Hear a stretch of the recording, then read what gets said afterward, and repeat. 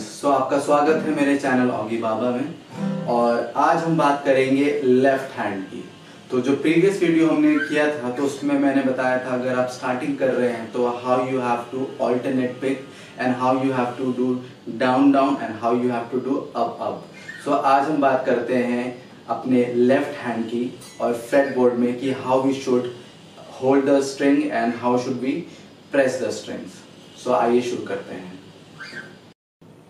तो फ्रेंड जैसे आप देख सकते हैं कि मैंने सामने, मेरे सामने ये फ्रेट बोर्ड है, ठीक है? तो ये जो ये जो मेटल की जो स्ट्रिप्स होती हैं, ये इस फ्रेट बोर्ड को डिवाइड करती हैं, ठीक है? तो जैसे कि ये हो गया मेरा फ़र्स्ट फ्रेट ये हो गया मेरा सेकंड फ्रेट ये मेरा हो गया third fret fourth fret fifth fret six fret seventh fret, ठीक है? और ये एथ फ्रेट, नाइन्थ फ्रेट।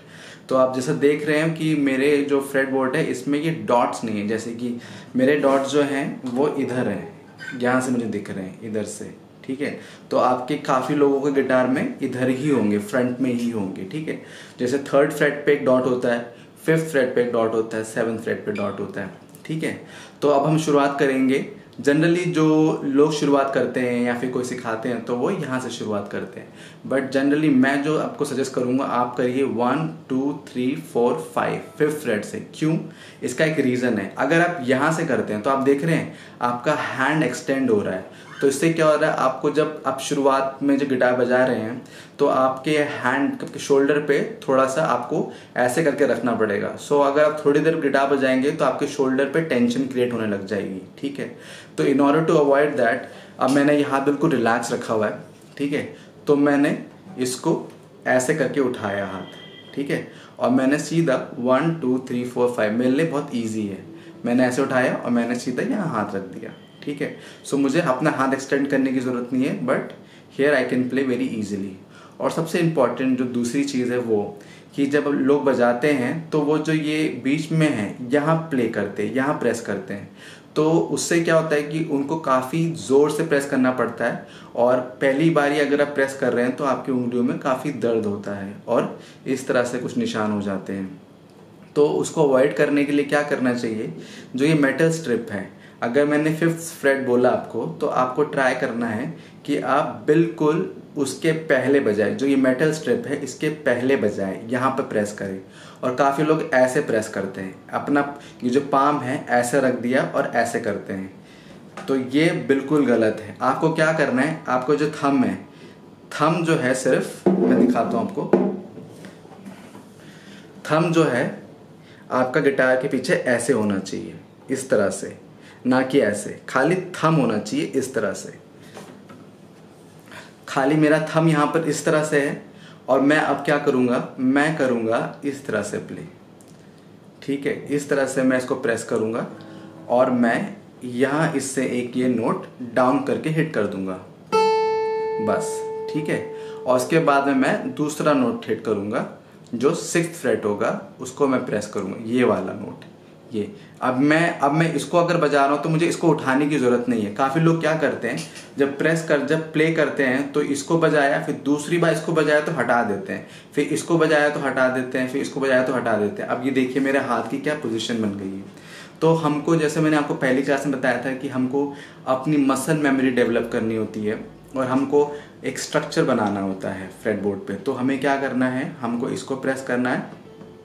और मेक श्योर sure कि जब आप ये प्रेस कर रहे हैं तो बेशक इसको प्रेस मत करिए बट हाथ मत हटाइए, ठीक है?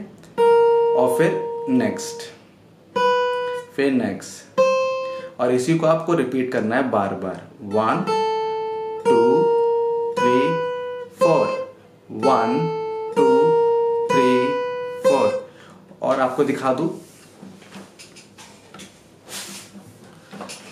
आपको दिखा दो मेरा दूसरा हाथ कैसे प्ले हो रहा है अगर मैंने यहाँ बजाया one two three four down down down down down down down down down down down down down ठीक है और जो मेरा ये वाला हाथ है मुझे उसको प्ले ऐसे करते रहना है और जब ये मेरे से अच्छे से हो जाए, ठीक है, और काफ़ी लोग का ऐसे बजता है।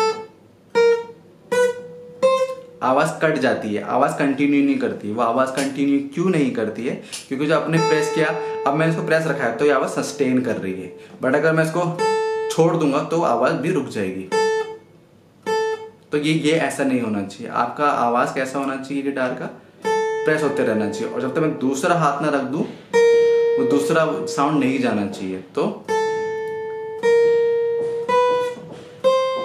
इसको हम बोलते हैं क्रोमैटिक स्केल और ये बहुत इंपॉर्टेंट है आपके हाथ की अलाइनमेंट के लिए, आपके हाथ की शेप के लिए, क्योंकि हमारी पाँचों उंगलियाँ बराबर नहीं हैं। तो होता क्या है कि ये जो उंगली है it will tend to go this way मतलब आपको बीचों बीच नहीं बजाना है, मैं ऐसे बजा रहा हूँ। मैं थोड़ा कैमरा के पास लाता हूँ। देखिए, मैं इसको ऐसे बजा रहा हूँ। और मैं इसको ऐसे बजा रहा हूँ, इसको ऐसे बजा रहा हूँ, और ये जो है, इधर से बज रही है, इधर से। ये बीचों बीच से नहीं बज रही है, ये इधर से बज रही है। तो ये this is all natural this will go this side this will go 90 degree this will be 90 degree and this will be 60 degree ठीक है? तो ये हो गया हमारा क्रोमैटिक स्केल और इसी को आपको फिर दूसरे स्ट्रिंग में जाना है। ऊपर वाली सेकंड स्ट्रिंग पे। और सेकंड स्ट्रिंग पे ही यहाँ पर भी आपको स्ट्रम करना है।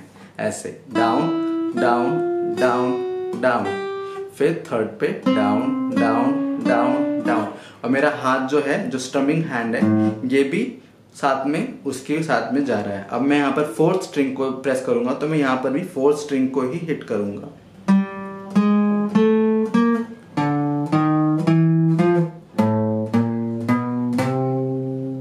तो यही आपको प्रैक्टिस करनी है। ठीक है? सो so फ्रेंड्स आपने देखा कि हम अपने ऑल्टरनेट पिकिंग या ऑल्टरनेट पिकिंग भी छोड़िए। आप खाली अगर डाउन भी हिट कर रहे हैं तो दैट इज़ ऑल्सो फाइन तो आप कैसे अपना लेफ़्ट हैंड कैसे हमने इसको इंट्रोड्यूस किया और कैसे उसको पोजीशन करना है? और इसको आपको बहुत ही, बहुत ज़्यादा स्लो करना है। और इस स्केल को बोलते हैं क्रोमैटिक स्केल ठीक है? तो इसको आपको फिफ्थ फ्रेट से प्ले करना है and you have to do it till the time you start feeling comfortable ठीक है? और इसका रिवर्स वर्जन भी होता है but right now I really wanted to want you to focus on this कि आप कंफ्यूज ना हो जाए। तो आप खाली इसको लेफ़्ट हैंड लेफ़्ट हैंड से one two three four one two three four करके प्रैक्टिस करते रहिए। और एक साथ आपको सिक्स स्ट्रिंग तो ऊपर नहीं जाना है।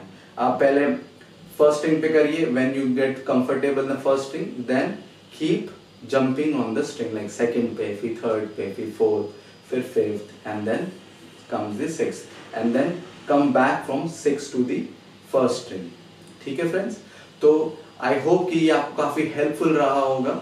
और अगर आपको मेरा वीडियो पसंद आया तो please subscribe to my channel Oggy Baba thank you